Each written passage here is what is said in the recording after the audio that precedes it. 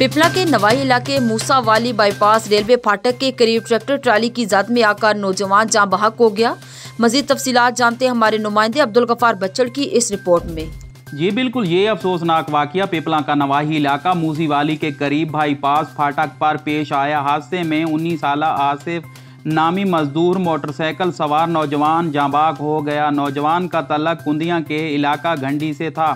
हादसे के बाहर ट्रैक्टर ड्राइवर मौके से फरार होने में कामयाब हो गया। नाश को पोस्टमार्टम के लिए तहसील हेडक्वार्टर हस्पताल पिपला मुंतकिल कर दिया गया। जी।